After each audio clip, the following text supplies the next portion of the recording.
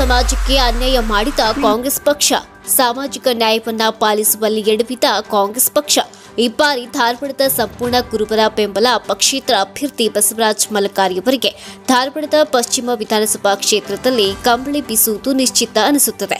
ಬಸವರಾಜ ಮಲಕಾರಿಯವರು ಈ ಕುರಿತಂತೆ ಧಾರವಾಡ ನ್ಯೂಸ್ನೊಂದಿಗೆ ಮಾತನಾಡಿ, ಸುಮಾರು ಇಪ್ಪತ್ತು ವರ್ಷಗಳಿಂದ ಪ್ರಾಮಾಣಿಕವಾಗಿ ಮನೆಯ ದುಡ್ಡಿನಿಂದ ಕಾಂಗ್ರೆಸ್ ಪಕ್ಷವನ್ನು ಬೇರು ಮಟ್ಟದಲ್ಲಿ ಕಟ್ಟಿಸಿ ಬೆಳೆಸಿ, ಇವತ್ತು ನಾಯಕರ ನಿರ್ಲಕ್ಷ್ಯದಿಂದ ಹಾಗೂ ಸಾಮಾಜಿಕ ನ್ಯಾಯವನ್ನು ಗಾಳಿಗೆ ತೂರಿ, ಮನಸ್ಫೂರ್ತಿಯ ಆರ್ಎಸ್ಎಸ್ ಹಿನ್ನೆಲೆ ಉಳ್ಳ ವಲಸಿಗರಿಗೆ ರತ್ನಗಂಬಳಿ ಹಾಸಿ ದುಡಿತ ತಳಮಟ್ಟದ ಕಾರ್ಯಕರ್ತರ ನೆತ್ತರಿನ ಮೇಲೆ ಅಧಿಕಾರದ ಕನಸನ್ನ ಕಾಣುತ್ತಿರುವ ಪಕ್ಷದ ಮುಖಂಡರ ನಡೆಗೆ ಹಾಗೂ ಹಿಂದುಳಿದ ಕುರುವ ಸಮಾಜವನ್ನ ಹಾಗೂ ಅಲ್ಪಸಂಖ್ಯಾತರನ್ನ ನಿರ್ಲಕ್ಷಿಸಿ ಸಾಮಾಜಿಕ ನ್ಯಾಯವನ್ನ ಗಾಳಿಗೆ ತೂರಿ ಎರಡರಷ್ಟು ಸಮಾಜದ ವ್ಯಕ್ತಿಗೆ ಟಿಕೆಟ್ ನೀಡಿ ಒಬಿಸಿ ಎರಡನೇ ಹಂತದ ನಾಯಕತ್ವವನ್ನ ತುಳಿಯುತ್ತಿರುವ ಪಕ್ಷದ ನಾಯಕರ ಧೋರಣೆಗೆ ಬೇಸತ್ತು ನೋವಿನಿಂದ ಕಾಂಗ್ರೆಸ್ ಪಕ್ಷದ ಪ್ರಾಥಮಿಕ ಸದಸ್ಯತ್ವಕ್ಕೆ ರಾಜೀನಾಮೆ ಸಲ್ಲಿಸಿದ್ದೀನಿ ಎಂದು ಬಸವರಾಜ್ ಮಲಕಾರಿ ಹೇಳಿದರು.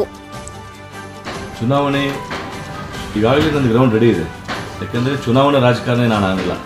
ನಾನು ನಿರಂತರವಾಗಿ ಟ್ವೆಂಟಿ ಫೋರ್ ಇಂಟು ಸೆವೆನ್ ಸುಮಾರು ವರ್ಷಗಳ ಕಾಲ ಪಕ್ಷವನ್ನು ಇಲ್ಲಿ ಕಟ್ಟಿ ಬೆಳೆಸಿ, ಜನರ ಕಷ್ಟದಲ್ಲಿ ಜನರ ಮನೆ ಮಗನಾಗಿ ಕೆಲಸ ಮಾಡಿದ್ದೀನಿ.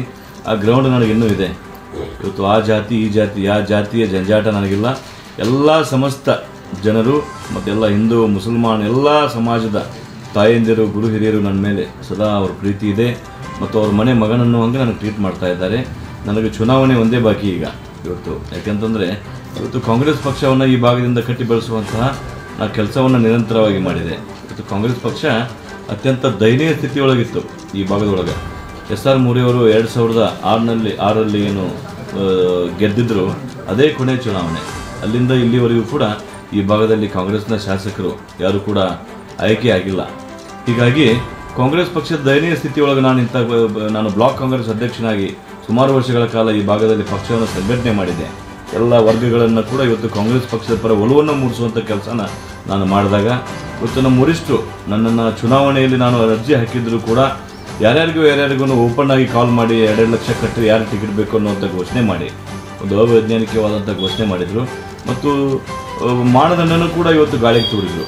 ಟಿಕೆಟ್ ಕೊಡುವಂಥ ಸಂಬಂಧಗಳು ಸಮಯದಲ್ಲಿ ಇವತ್ತು ಡಿಸ್ಟಿಕ್ ಎಲೆಕ್ಷನ್ ಕಮಿಟಿ ಆಗಿರ್ಬೋದು, ಸ್ಟೇಟ್ ಎಲೆಕ್ಷನ್ ಕಮಿಟಿ ಆಗಿರ್ಬೋದು ಸೆಂಟ್ರಲ್ ಎಲೆಕ್ಷನ್ ಕಮಿಟಿ ಆಗಿರ್ಬೋದು, ಇವತ್ತು ನಿಮ್ಮ ಸರ್ವೆಗಳಾಗಿರ್ಬೋದು, ಇವು ಪೊಲೀಸ್ ರಿಪೋರ್ಟ್ಸ್ ಆಗಿರ್ಬೋದು, police report intelligence report hint report, ಯಾವುಗಳನ್ನು ಕೂಡ ನೀವು ವಿಶ್ವಾಸಕ್ಕೆ ತೊಗೊಳ್ದಂಗೆ ಕೇವಲ ಲಾಬಿಗಳಿಗಾಗಿ ನಿಮ್ಮ ನಿಮ್ಮ ಫಾಲೋವರ್ಸು ನಿಮ್ಮ ನಿಮ್ಮ ಅಭಿಮಾನಿಗಳು ಅಂಥವರಿಗೆ ನೀವು ಟಿಕೆಟ್ ಕೊಡುವಂಥದ್ದು ನಿಜಕ್ಕೂ ಕೂಡ ಸಾಮಾನ್ಯ ಕಾರ್ಯಕರ್ತರಾಗಿ ನಮಗೆ ಬಹಳ ದುಃಖ ಆಗಿದೆ. ಇವತ್ತು ಸಾಮಾಜಿಕ ನ್ಯಾಯ ಇವತ್ತು ಎಲ್ಲೋ ಒಂದು ಕಡೆ ಗಾಳಿಗೆ ತೋರಿ. ಕಾಂಗ್ರೆಸ್ ಪಕ್ಷ ಏನು ಸಿದ್ಧಾಂತ ನೆಟ್ಕೊಂಡು ಬಂದಿತ್ತು, ದೇಶದ ಸ್ವತಂತ್ರಕ್ಕಾಗಿ ನಿಮ್ಮ ಇತಿಹಾಸ ಏನಿದೆ, ಈ ದೇಶದ ಸಂವಿಧಾನ ಕೊಟ್ಟು ಕೊಟ್ಟಂಥ ಪಕ್ಷ ಏನಿದೆ ಇವತ್ತು ಎಲ್ಲೋ ಒಂದು ಕಡೆ ಸಾಮಾಜಿಕ ನ್ಯಾಯದಲ್ಲಿ ಎಡುತ್ತಾ ಇದ್ದೀರಿ. ನಾನು ನಾಯಕರಿಗೆ ಹೇಳ್ತಾ ಇದ್ದೇನೆ, ಯಾಕಂದರೆ ನಾಯಕರು ಸಾಮಾಜಿಕ ನ್ಯಾಯವನ್ನು ಗಾಳಿಗೆ ತೂರಿದಾಗ ಕಾಂಗ್ರೆಸ್ ಪಕ್ಷಕ್ಕೆ ಅಪಾಯ ಇದೆ. ಇವತ್ತು ಯಾಕಂದರೆ ಕಾಂಗ್ರೆಸ್ಗೂ ಬಿ ಜೆ ಪಿಗೂ ವ್ಯತ್ಯಾಸನೇ ಇಲ್ಲ. ಇಲ್ಲಿಯವರು ಅಲ್ಲಿ ಹೋಗ್ತಾರೆ, ಅಲ್ಲಿಯವರು ಇಲ್ಲಿ ಬರ್ತಾರೆ. ಅಂದಾಗ ನಿಮಗೆ ಗೆಲುವು ಒಂದೇ ಮಾನದಂಡ, ಅಧಿಕಾರ ಒಂದೇ ಮಾನದಂಡ. ಇವತ್ತು ಕಾರ್ಯಕರ್ತರ ಹೆಣದ ಮೇಲೆ ನಿಮಗೆ ಅಧಿಕಾರ ಬೇಕಾಗಿದೆ. ಅಂದರೆ ನಿಮಗೆ ಒಟ್ಟು ಅಧಿಕಾರ ಬೇಕು. ಯಾವುದೇ ಮಾರ್ಗದಲ್ಲಿ ಯಾವುದೇ ಉಪಾಯದಿಂದ ನಾವು ಅಧಿಕಾರ ಮಾಡಬೇಕು ಅನ್ನುವಂಥ ಸಿದ್ಧಾಂತಕ್ಕೆ ನೀವೇನು ಬದ್ಧರಾಗಿದ್ದೀರಿ? ಇದು ನಿಮ್ಮ ಪಕ್ಷಕ್ಕೂ ಕೂಡ ಒಳ್ಳೆಯದಲ್ಲ, ಪ್ರಜಾಪ್ರಭುತ್ವಕ್ಕೂ ಕೂಡ ಮಾರ್ಗ ಮಾರಕ ಅನ್ನುವಂಥದ್ದನ್ನು ಈ ಸಂದರ್ಭದಲ್ಲಿ ನಾನು ಹೇಳಿ, ಈಗಾಗಲೇ ನಾನು ಸಾಕಷ್ಟು ಕೆಲಸ ಮಾಡಿದ್ದೀನಿ. ಇಲ್ಲಿ ಜ್ವಲಂತ ಸಮಸ್ಯೆಗಳು ಸಾಕಷ್ಟು ಏನಿದೆ ಅನ್ನೋದನ್ನು ನಮ್ಮ ಮನೆ ಮನೆಗೆ ಹೋದಾಗ ಗೊತ್ತು. ಯಾಕಂದರೆ ಕೋವಿಡ್ ಸಮಯದೊಳಗೆ ಇವತ್ತು ಜನ ಎಲ್ಲೋ ಒಂದು ಕಡೆ ಟಿ ವಿಗಳನ್ನು ಓಪನ್ ಮಾಡಿಬಿಟ್ರೆ ಎಲ್ಲ ಸತ್ತ ಹೋಗ್ತಾರಂತಪ್ಪ ಜನ ಅನ್ನುವಂಗೆ ತೋರಿಸ್ತಾ ಇದ್ರು. ಆದರೆ ಅಂಥ ಪರಿಸ್ಥಿತಿ ಒಳಗೆ ಅವರಿಗೆ ಧೈರ್ಯ ತುಂಬುವಂಥ ಕೆಲಸನ ನಾವು ನಾವು ಜೀವದ ಹಂಗನ್ನು ತೊಡೆದು ನಾವು ಮಾಡಿದ್ದೀವಿ. ಮತ್ತು ಕರಾಳ ಕರಾಳ ಕಾನೂನುಗಳನ್ನು ಈ ಬಿ ಜೆ ಪಿಯವರು ತಂದರು. ಸಿ ಎ ಆಗಿರ್ಬೋದು, ಎನ್ ಆರ್ ಸಿ ಆಗಿರ್ಬೋದು, ಎನ್ ಪಿ ಆರ್ ಆಗಿರ್ಬೋದು, ಈ ಹಲಾಲ್ ಕಟ್ಟು, ಜಟ್ಕಾ ಕಟ್ಟು, ಈ ಮೈಕು ಆಜಾನು ಹಿಜಾಬು, ಒಂದೆರಡ ಇವ್ರು ಮಾಡಿದ್ದ. ಅದರ ವಿರುದ್ಧ ನಿರಂತರವಾಗಿ ನಾನು ಹೋರಾಟ ಮಾಡುವಂಥದ್ದಿದೆ. ಎಲ್ಲೇ ಒಂದು ಕಡೆ ಸಾಫ್ಟ್ ಹಿಂದುತ್ವ ಮಾಡಿ ಉಳಿದಂಥವರು ಕೂಡ ಬೇರೆ ಇದ್ದಾರೆ. ಆದರೆ ನಾನು ನೇರವಾಗಿ ಸಾಮಾಜಿಕ ನ್ಯಾಯ ಇಟ್ಕೊಂಡು ನಾನು ಸೆಕ್ಯುಲರ್ ಇದ್ದೀನಿ ಎನ್ನುವಂಥ ಹೋರಾಟನ ಮಾಡಿ.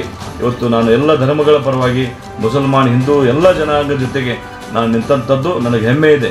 ಹೀಗಾಗಿ ಇವತ್ತೆಲ್ಲ ಒಂದು ಕಡೆ ಬೇರೆ ಬೇರೆ ಪಕ್ಷದಿಂದ ವಲಸೆ ಬಂದಂತಹ ಆರ್ ಎಸ್ ಎಸ್ನ ರಾಜ್ಯ ರಾಷ್ಟ್ರೀಯ ನಾಯಕರನ್ನು ತೊಗೊಂಡು ಬಂದು ಇವರು ಟಿಕೆಟ್ ಕೊಡ್ತಾ ಇದ್ದಾರೆ.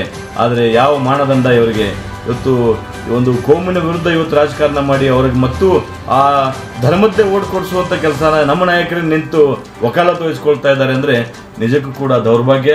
ನಮಗೆ ಅದಕ್ಕಿಂತ ಒಂದು ದೌರ್ಭಾಗ್ಯ ಇನ್ನೊಂದು ಇಲ್ಲ ಅನ್ನುವಂಥ ಮಾತನ್ನು ಹೇಳಿ ಈ ಭಾಗದಲ್ಲಿ ನಾನು ಸಾಕಷ್ಟು ನನಗೂ ಕೂಡ ಕರೆದಾಗ ನಾನು ಹೇಳಿದೆ ಎಲ್ಲದ ಇಲ್ಲಿ ಕೊಡೋದಾದರೆ ನೀವು ಮುಸಲ್ಮಾನಿ ಕೊಡ್ತೀರಾ? ಕೊಡ್ರಿ ಅಂತ ನಾನು. ನನ್ನ ಸ್ವಾಗತ. ಮುಸಲ್ಮಾನಿ ಕೊಡೋದಾದರೆ ನನ್ನ ಸ್ವಾಗತ, ನಾನು ಕೆಲಸ ಮಾಡ್ತೀನಿ. ಕುರುಬರಿಗೆ ನನಗೆ ಕೊಡ್ತೀರಾ? ಯಾಕಂದ್ರೆ ಜಿಲ್ಲೆಯಲ್ಲಿ ಎರಡು ಕುರುಬು ಕೊಡ್ತಾ ಇದ್ದೆ ಸಾಂಪ್ರದಾಯಿಕವಾಗಿ. ಅದನ್ನು ಕೂಡ ಒಂದು ಹಾರಿಸಿದ್ರು, ಒಂದೇ ಕೊಟ್ಟರು ಇವತ್ತು ಕುರುಬ ಸಮಾಜಕ್ಕೆ ಕೂಡ ಇವತ್ತು ಆಕ್ರೋಶ ಇದೆ ಪಕ್ಷದ ಮೇಲೆ. ಹೌದಾ? ಮುಸಲ್ಮಾನರಿಗೆ ಇಡೀ ಜಿಲ್ಲೆಯಲ್ಲಿ ಒಂದೂ ಕೊಟ್ಟಿಲ್ಲ. ಅವ್ರದ್ದು ಕೂಡ ಆಕ್ರೋಶ ಇದೆ. ಲಿಂಗಾಯತ್ ಸಮಾಜದವ್ರು ಕೊಡ್ತೀರಾ? ಕೊಡಿ, ನಾವು ಕೆಲಸ ಮಾಡ್ತೀವಿ ಅಂದೆ. ಅದು ಇಲ್ಲ. ಅಂತಂದ್ರೆ, ಇವರು ವೋಟ್ ಬ್ಯಾಂಕ್ ಇಲ್ಲದೆ ಇರುವಂತ ಒಬ್ಬ ವ್ಯಕ್ತಿಗೆ ಟಿಕೆಟ್ ಕೊಟ್ಟು, ಯಾರು ಅಂದ್ರೆ ಮತ್ತೆ ಎಲ್ಲರನ್ನೂ ಕೂಡ ಅವ್ರು ಗುಲಾಮರ ಕೆಲಸ ಮಾಡುವಂತ ಕೆಲಸ ಕೈ ಹಾಕಿದ್ದಾರೆ. ಅದಕ್ಕೆ ಜನ ಈ ಬಾರಿ ತೀರ್ಮಾನ ತಗೊಳ್ತಾರೆ. ನೀವಾಗಲೇ ಹೇಳಿದ್ರಿ. ಬಸವರಾಜ್ ಮಲ್ಕಾರಿ ಬಂಡಾಯ ಕಾಂಗ್ರೆಸ್ ಅಂತ. ಬಸವರಾಜ್ ಮಲ್ಕಾರಿ ಬಂಡಾಯ ಅಲ್ಲ ಕ್ಷೇತ್ರದ ಜನ ಬಂಡಾಯ ಎದ್ದಿದ್ದಾರೆ ಕಾಂಗ್ರೆಸ್ನ ವಿರುದ್ಧ ಕಾಂಗ್ರೆಸ್ನ ಅಭ್ಯರ್ಥಿ ವಿರುದ್ಧ. ಹೀಗಾಗಿ ಜನ ನನ್ನನ್ನು ಗೆಲ್ಲಿಸ್ತಾರೆ ಜನನೇ ಬಂಡಾಯವಾಗಿ ನಾನು ನಿಲ್ಲಿಸಿದ್ದಾರೆ ಅನ್ನೋದನ್ನು ಈ ಸಂದರ್ಭ ನಾನು ಗಂಟಾಘೋಷವಾಗಿ ಹೇಳೋಕೆ ಇಷ್ಟಪಡ್ತೀನಿ. ಈ ದೀಪಕ್ ಚಿಂಚವರ ಸಮರ್ಥ ಅಭ್ಯರ್ಥಿ ಅಲ್ಲ ಅಂತ ಅನ್ಸುತ್ತೆ. ಭಾಳ ಹೀನಾಯವಾಗಿ ಸೋಲ್ತಾರೆ ಅವರು. ಭಾಳ ಹೀನಾಯವಾಗಿ ಸೋಲ್ತಾರೆ. ಆ ಕಾಂಗ್ರೆಸ್ನ ಗೌರವ ಉಳಿಸೋಕೆ ನಾನು ಬಂಡಾಯ ನಿಂತಿದ್ದು. ನಾವು ಸಾಮಾಜಿಕ ನ್ಯಾಯ ಇಲ್ಲ ಅಂದ್ರೆ ಯಾವ ಪಕ್ಷಕ್ಕೆ ಉಳಗಾಲಿಲ್ಲ ಕಾರ್ಯಕರ್ತನ ಗೌರವ ಕೊಟ್ಟಿಲ್ಲ, ಯಾವ ಪಕ್ಷಕ್ಕೂ ಒಳಗಾಗಲಿಲ್ಲ. ರಾಷ್ಟ್ರೀಯ ಪಕ್ಷಗಳು ಎಲ್ಲ ಅವ್ರ ಬಿ ಟೀಮ್ ಇವರಾಗಿ ಇರ್ತಿದ್ರು, ಇವ್ರ ಬಿ ಟೀಮ್ ಅವ್ರಾಗಿ ಯಾರಿಗೆ? ನಿಮ್ಗೆ ಗೊತ್ತೈತೆ ನಾವು ಬಾಯಿ ಬಿಟ್ಟು ಹೇಳೋದಿಲ್ಲ. B J P B team ಯಾರು, ಕಾಂಗ್ರೆಸ್ ಬಿ ಟೀಮ್ ಯಾರು ಅನ್ನುವಂಥದ್ದನ್ನು ನೀವೇ ತಿಳ್ಕೊಡ್ರಿ ಮತ್ತಿದು ದೀಪಕ್ ಅವರು ಮೊನ್ನೆ ನಾಮಿನೇಷನ್ ದಿವಸ ಹೇಳ್ತಾ ಇದ್ರು.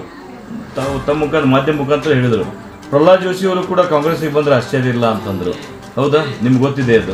ಅಂದ್ರೆ ಪ್ರಹ್ಲಾದ್ ಜೋಶಿ ಅವರು ಕಾಂಗ್ರೆಸ್ಸಿಗೆ ಬಂದ್ರೂ ಸ್ವಾಗತ ಅಂತ ಇವ್ರು ಹೇಳಿದಾಗ, ನಾಳೆ ಇವ್ರು ಗೆದ್ದು ಗೆಲ್ಲಿ ಸೋಲಿ ಇವರು ಕೂಡ ಬಿಜೆಪಿ ಹೋಗ್ತಾರೆ ಅಂದಂಗೆ ಅದು. ಅಂದ್ರೆ ಜೋಶಿ ಅವ್ರದ್ದು ಇವ್ರದ್ದು ಹೊಂದಾಣಿಕೆ ಇರ್ಬೋದು ಅನ್ನೋಂಥದ್ದು ಸಂಶಯ ಕೂಡ ನಮಗೂ ಕಾಡ್ತಾ ಇದೆ. ಅದಕ್ಕೆ ಅದನ್ನ ನಮ್ಮ ಪ- ಪಕ್ಷದ ಕಾಂಗ್ರೆಸ್ನ ವರಿಷ್ಠರೇ ಅದಕ್ಕೆ ಉತ್ತರ ಕೊಡಬೇಕು. ಇಷ್ಟೇ ನಾನು ಹೇಳೋದು. ಹಾಗಾಗಿ ನಾನು ಕೈ ಮುಗಿದು ಕೇಳ್ಕೊಳ್ತೀನಿ. ನಿಮ್ಮ ಮನೆಯ ಮಗ, ನಾನು ನಿರಂತರವಾಗಿ ಹೋರಾಟ ಮಾಡಿದ್ದೀನಿ. ಇಲ್ಲಿ ಸ್ಥಳೀಯವಾಗಿ ಸಮಸ್ಯೆಗಳು ನನಗೆ ಗೊತ್ತು. ಸ್ಥಳೀಯವಾಗಿ ನಿಮ್ಮ ಜೊತೆಗೆ ನಾನು ನಿರಂತರ ಇರೋನು ಆಮೇಲೆ ನೀವು ಕರೆದಾಗ ನಿಮ್ಮಲ್ಲಿ ಸಿಗುವಂಥವು ನಾನು. ಇಲ್ಲಿ ಧಾರವಾಡದಲ್ಲೇ ಇರೋದ್ರಿಂದ ನಾನು ನಿಮ್ಮ ಮನೆಯ ಮಗನಾಗಿ ಕೆಲಸ ಮಾಡಿದ್ದೀನಿ.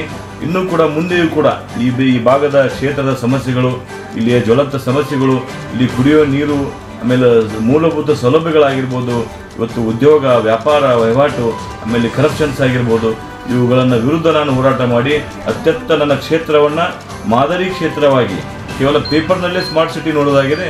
ನಿಜಕ್ಕೂ ಕೂಡ ಅದರ ಪರಿಕಲ್ಪನೆಯನ್ನು ನಾನು ಸ್ಮಾರ್ಟ್ ಸಿಟಿಯನ್ನು ಕೊಡುವಂಥದ್ರ ಬಗ್ಗೆ ನಾನು ಇವತ್ತು ಒಂದು ಕಡೆ ನಾನು ಭರವಸೆಯನ್ನು ಕೊಡ್ತಾ ಇದ್ದೇನೆ ಅನ್ನೋಂಥ ಮಾತನ್ನು ಹೇಳಿ ಈ ಬಾರಿ ನನ್ನನ್ನು ಜನ ಗೆಲ್ಲಿಸಬೇಕು, ನಿಮ್ಮ ಪ್ರತಿನಿಧಿಯಾಗಿ ನನ್ನನ್ನು ವಿಧಾನಸೌಧಕ್ಕೆ ನಾನು ಕಳಿಸಬೇಕು ಅನ್ನುವಂಥದ್ದನ್ನು ತಮ್ಮೆಲ್ಲರ ಮೂಲಕ ನಾನು ಕಳಕಳಿಯಿಂದ ಕೇಳ್ಕೊಳ್ತಾ ಇದ್ದೀನಿ. ಮತದಾರ ಬಾಂಧವರಲ್ಲಿ ನನ್ನ ಸವಿನಯ ಪ್ರಾರ್ಥನೆ, ನಾನು ಈ ಬಾರಿ ಬಂಡಾಯ ಕಾಂಗ್ರೆಸ್ನಿಂದ ಪಕ್ಷೇತರ ಅಭ್ಯರ್ಥಿಯಾಗಿ ಸ್ಪರ್ಧೆ ಮಾಡಿದ್ದೀನಿ, ಕಣದಲ್ಲಿ ಉಳಿದಿದ್ದೀನಿ. ನನ್ನ ಗುರುತು ಕುಕ್ಕರ್. ಆ ಕುಕ್ಕರ್ ಗುರುತಿಗೆ ತಮ್ಮೆಲ್ಲರೂ ಕೂಡ ಮತ ಚಲಾಯಿಸಿ ನನ್ನನ್ನು ಅಭೂತಪೂರ್ವವಾಗಿ ಈ ಬಾರಿ ದಾಖಲೆಯ ಅಂತರದಿಂದ ನನ್ನ ಜಯ ಜಯ ಜಯಗೊಳಿಸಿ ತಾವೆಲ್ಲರೂ ಕೂಡ ನನಗೆ ಆಶೀರ್ವಾದ ಮಾಡಬೇಕು ಅನ್ನುವಂಥದ್ದನ್ನು ಈ ಸಂದರ್ಭದಲ್ಲಿ ತಮ್ಮೆಲ್ಲರಿಗೂ ಕೂಡ ಅತ್ಯಂತ ಕಳಕಳಿಯಿಂದ ಸವಿನಯವಾಗಿ ಪ್ರಾರ್ಥನೆ ಮಾಡ್ಕೊಳ್ತಾ ಇದ್ದೀನಿ. ಕ್ಷೇತ್ರದಲ್ಲಿ ಜನರ ಸಮಸ್ಯೆಗಳಿಗೆ ಸ್ಪಂದಿಸುತ್ತಾ ಬಂದಿರುವ ನನಗೆ ಅಲ್ಪಸಂಖ್ಯಾತರು, ಹಿಂದುಳಿದ ವರ್ಗದವರು, ಪರಿಶಿಷ್ಟ ಜಾತಿ, ಪರಿಶಿಷ್ಟ ಪಂಗಡದ ಜನಾಂಗ ಅಲ್ಲದೆ ಲಿಂಗಾಯತರು ಎಲ್ಲ ಸಮುದಾಯದ ಜನ ಜೊತೆ ಇದ್ದಾರೆ. ಅವರ ಎಲ್ಲ ಸಮಸ್ಯೆಗಳಿಗೆ ಪರಿಹಾರ ನೀಡುವಲ್ಲಿ ನಾನು ಪ್ರಾಮಾಣಿಕ ಪ್ರಯತ್ನ ಮಾಡುತ್ತಾ ಬಂದಿದ್ದೇನೆ. ಜನತೆ ನನಗೆ ಆಶೀರ್ವಾದ ಮಾಡುವುದು ನಿಶ್ಚಿತ ಎಂದು ಬಸವರಾಜ್ ಮಲಕಾರಿ ತಮ್ಮ ಮನದಾಳದ ಮಾತುಗಳನ್ನು ಬಿಚ್ಚಿಟ್ಟರು.